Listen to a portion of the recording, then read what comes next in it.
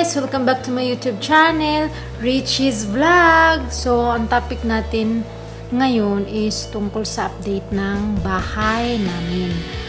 So, matagal-tagal na din to guys. Mga, yun yung mga first and second, up, ay, second and third upload ko sa channel ko. So, ngayon guys, uh, uh, sa video na to, eh, doon yung makikita kung saan kami nagsisimula. Doon yung una naming bahay.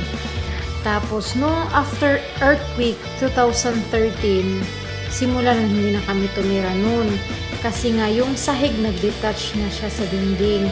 Tapos, yung bandang kusina namin, parang, uh, wala na, na, na ano talaga siya, na siya yung na-apituhan ng earthquake. Tapos, noon, um, binigyan kami ng bahay. Yun sa parang disaster rehabilitation ganun. Tapos, guys, hindi na kami pwede magpatayo ng bahay dun sa dun sa lupa namin kasi nga uh, sa tabi ng bundok yun. So, baka daw guguho. So, yung bahay namin dati, tinawag na danger zone daw. So, hindi na kami pwede mag ano. So, yung ginawa namin guys, bumili kami ng lupa. Tapos doon namin pinatayo yung bigay na bahay. So by 2016 uh, umuwi kami guys ng ate ko. Tapos na yung bahay na binigay sa amin. Tapos by 2017 guys, nag-decide kami na uh, mag-extension dun sa harap. Kasi hindi nga kami pwede mag-extension kahit saan kasi yung lupa namin parang dalawang square, ano lang, hindi ko alam kung ilang square meter yon Tapos kasi guys, nung umuwi kami ng 2016 sa Pilipinas, yung bahay na bigay guys, maliit lang. Yung parang isang square lang. Tapos yung may bandang, may banda doon na konting CR. Tapos doon guys, doon lang kami, doon kami lahat, doon kami natutulog, doon yung sala namin, doon yung kusina, ganun. Tapos, may isang portion lang dun sa tabi guys na may kama. So, ginawa namin parang double, ginawa namin double deck para yung may matulog sa baba, matulog din sa taas. Tapos, upuan.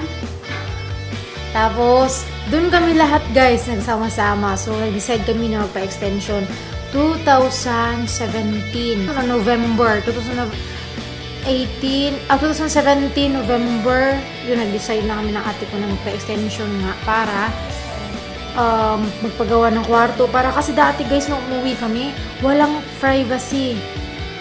Privacy. Kasi, kanyari, pag pupunta dun sa amin guys, eh, syempre, magigising kaming lahat kasi nga, wala eh, walang kwarto. So, ngayon, ginawa namin, nagpagawa kami ng yung extension lang naman yan guys, nilagyan lang namin ng kwarto sa taas para, kanyari kung gusto namin magpapahinga, so doon kami sa taas. Tapos yung mama ko, ginawa namin ng ano guys, kwarto din sa baba para syempre tatanda, tatanda, hindi na siya makakaakit sa taas. Tapos yun guys, yung bahay na yan, hindi lang talaga yung ako yung nagpapagawa. Dalawa kami ng ate ko. Tapos, yun guys, para kahit wala man tayong ipon, mga OFW walang ipon, at least may makita tayong bahay para pag uwi natin, papahingahan tayo ng maayos kasi yun yung importante. Tapos, yun na guys.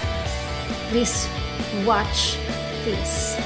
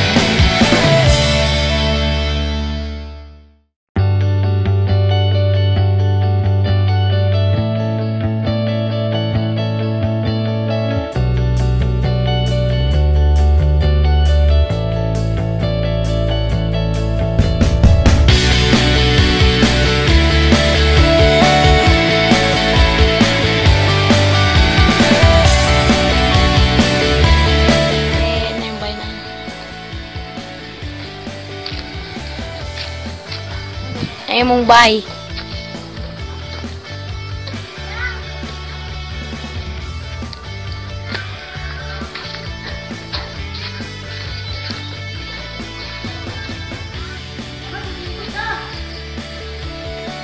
Tara Mumbai is nice kaayo ate.